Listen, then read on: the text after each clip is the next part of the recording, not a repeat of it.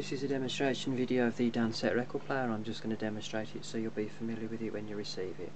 First thing to do is screw down the two transit screws on the deck here and here. Screw those fully down clockwise so the deck floats on its springs and remember to unclip the arm. On the front of the main controls for on off volume, treble and bass. On the deck you have the speed control here, stop start here and size detection automatic via the trip lever here. You can load between 1 and 10 records, I'll demonstrate with 2 just so you can see it. Pop the records onto the spindle edge and put the stacker arm across and turn the right hand dial all the way around to start the auto changer.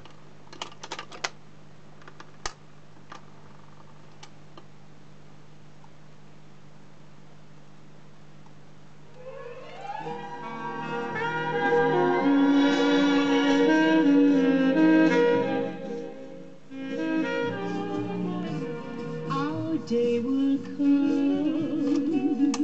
Turn the dial all the way around again to skip to the next record.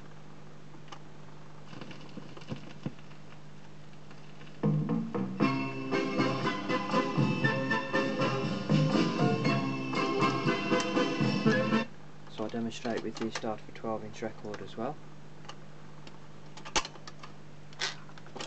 When you stack a 10 or 12 inch record this is the size selector lever so you need to make sure the record is stacked above the lever like so and that's so that the playing arm knows to land in the correct position.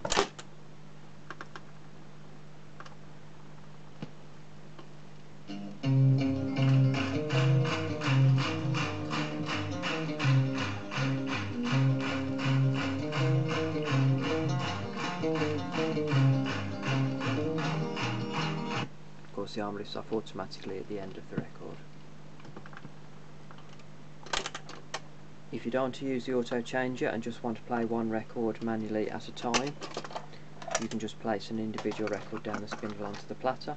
With the stacker bar in the upright position, if it's a 7 inch record, you can select auto and the arm will start at the 7 inch position, or select the first click on the right hand dial manual start, and then you can just place the arm onto the record yourself. Once the arm is on the record and it's playing, lower the stacker bar down so it knows to switch off at the end of the record. If you leave the stacker bar up when playing, that triggers a repeat function, again for 7 inch only, and the same 7 inch will replay over again automatically. So hopefully that covers everything, but if you do have any questions when you receive it, I'll include my email address in with the machine, and please use that method to contact me.